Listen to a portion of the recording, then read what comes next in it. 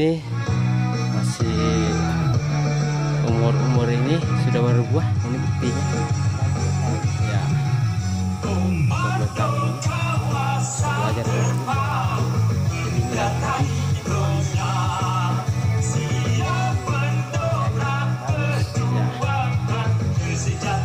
ya.